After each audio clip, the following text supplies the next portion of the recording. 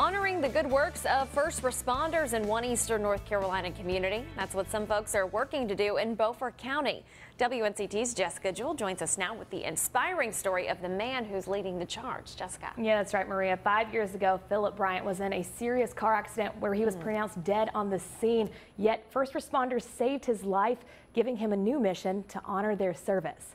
The accident left Bryant partially paralyzed from the waist down, requiring him to use a wheelchair.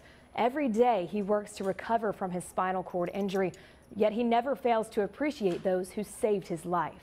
God works in mysterious ways and he puts the right people in the right places, you know, and just so happened to be this particular state trooper that was working that night and this medical attendant, you know, all these people that were there um, were the perfect fit to, to come and, and help me.